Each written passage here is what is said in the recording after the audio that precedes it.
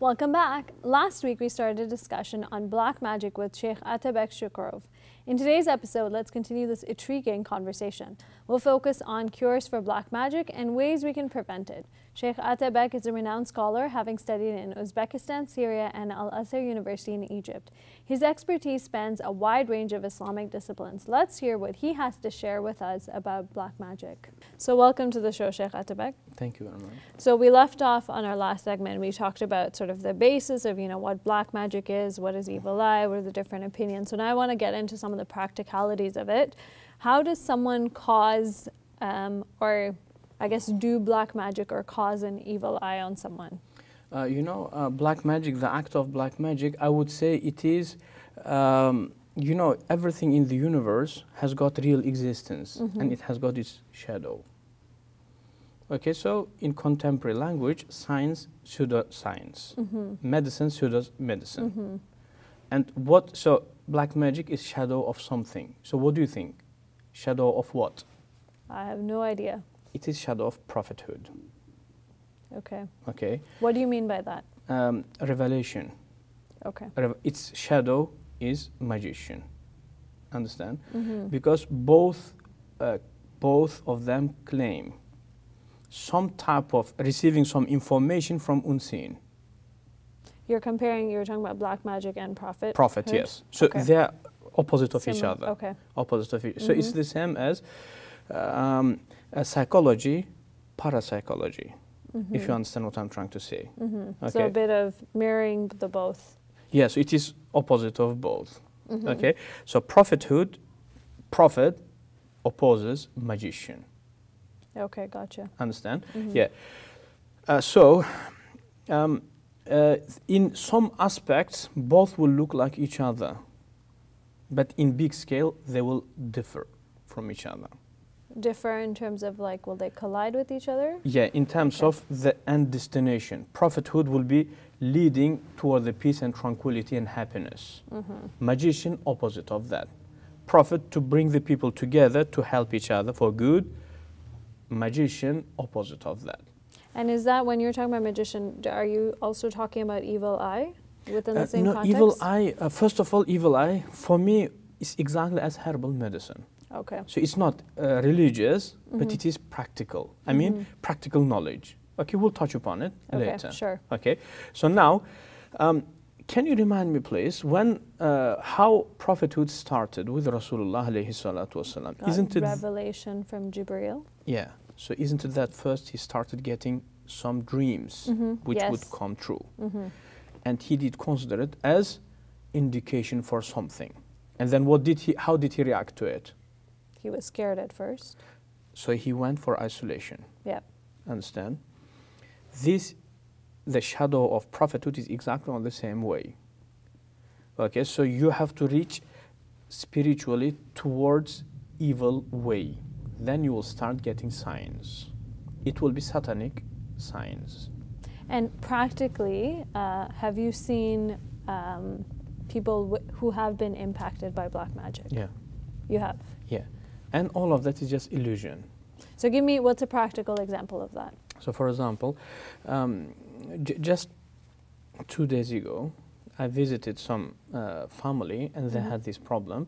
So the, this lady gets all the time whispers in her ear.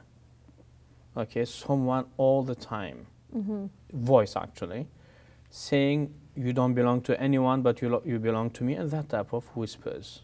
Okay, so all of that to do with your imagination. But does mm -hmm. it mean, so if it is related to the brain, so does it mean that we can somehow fix it by remedies, by medicine? Mm -hmm. um, so it is quite tough question. It is tough question. Yes, we do in our herbal medicine, we do believe that um, psychological disorder is nothing but a consequence of physical disorder. Mm -hmm. That's why we in Islamic herbal medicine cure, I mean, that we treat we treat the psychological illnesses by remedies. So, what are some of the examples of the remedies that you use in this situation? I'm not talking about black magic, but for do you know this anxiety? Mm-hmm. Anxiety yeah. for, for anxiety, uh, I use al majun al dhahabi. It's called majun. So it's mm-hmm. just uh, we use uh, golden powder. We, you understand? Because that strengthens your heart and brain. So you're talking about different elements. You do uh, different psychological issues. You do use herbal medicine to treat them. Because we, we, do not believe in herbal medicine. We do not believe in psycho independent psychological um, illness because mm -hmm. human is undetachable from himself. So there's psychological behavior mm -hmm. is nothing but a result of your physical condition. So it means physical treatment is needed. Exactly. But going back to, so how do you treat with uh, something that you can't see, like the black magic incident? What's yeah. the, what, what, what, approach do you use there? Yeah, so for that one, because it is actually caused by rituals, so mm -hmm. it will be unlocked by rituals also. Okay, so as prophet goes for isolation mm -hmm. to meet with the noble creation, that how magician goes to the isolation to meet this evil creation who will I mean, these creations who will mm -hmm. uh, order you to do silly things. Okay, and so um, to stop that uh, uh, illusion, which mm -hmm. is mm-hmm. called black magic, in the brain yep. of a person who is affected, we use different recitations. Could from be from Quran. Quran. could be out of from somewhere else also, and it does not have to be from uh, holy text, Quran or Sunnah. It could be anything which is practically proven to benefit. So we use that all.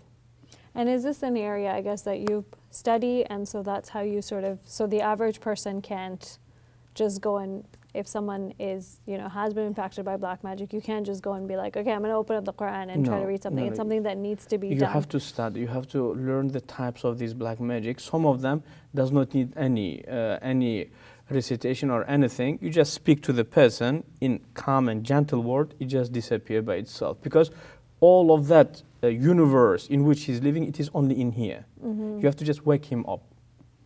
Okay. okay. Yeah. So he's just uh, uh, playing with the mind of a people, actually. I know. I'm definitely getting a little creeped out. Maybe our viewers are too. So, what are some, you know, going forward?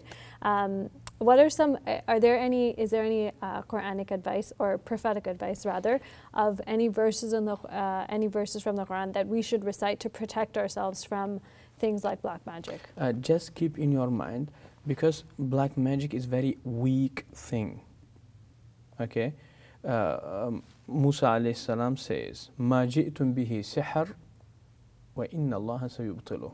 The thing that you brought, presented, or magicians, it's nothing but black magic. It's just magic, mm -hmm. and God will ruin it. So black magic is very weak thing. So that's why you rarely find it affecting on a person with strong character, strong, you can say, personality. You understand? Because mm -hmm. it's very mm-hmm. miserable, very small thing. So it's the same as, so anyone who could be deceived by words can be affected by black magic also.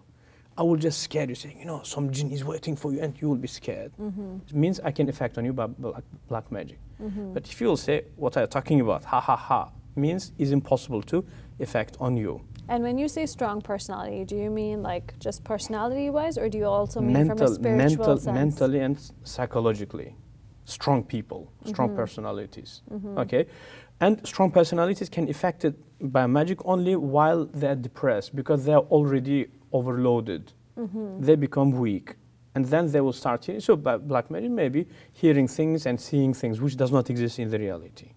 Okay. Yeah, so the most important thing is if you are mentally and a psychologically strong person, do not be afraid of it. So from here, maybe we can understand that these people who are fabricating that Prophet Muhammad was affected by black magic, it is how miserable, how, mm -hmm. you know, great yeah. joke is it, you know. Yeah. Rasul, prophets, they're very strong in terms of mentally, academically, intellectually impossible to affect on them. What about someone who, uh, you know, I think everyone has strong personality traits, but what about someone who maybe doesn't feel as strong? Are there specific? Uh, yes, yeah. Surah Yasin before sunrise. Before sunrise. Before sunrise. Okay. So uh, as far as I remember, there was this. Uh, maybe we did mention it before. Uh, some um, uh, some professor from Japan. So he tested. He experimented the water mm -hmm. and the impact of recitations and songs and music on the water. So it was just brilliant. Mm -hmm. So uh, in my own understanding, uh, reciting Surah Yasin somehow designs or gives some type of mental peace. Mm -hmm. So you will have enough strength to, you know, to spend one day in that mood, in great mood. Every night before sunrise. Before sunrise, yeah. So after Fajr, uh, pray Fajr and uh, recite it. Normally with me it takes about three to four minutes. I think you've given me a very peaceful end to this conversation. So before that peace goes away, thank you very much, Sheikh Atabek. Thank you. Hey YouTube, we hope you benefited from this video. If you liked it, or if you didn't, let us know in the comments below. And if you're interested in learning more, check out some of our other videos. And don't forget to subscribe so you can get new videos every Monday, Wednesday, and Friday.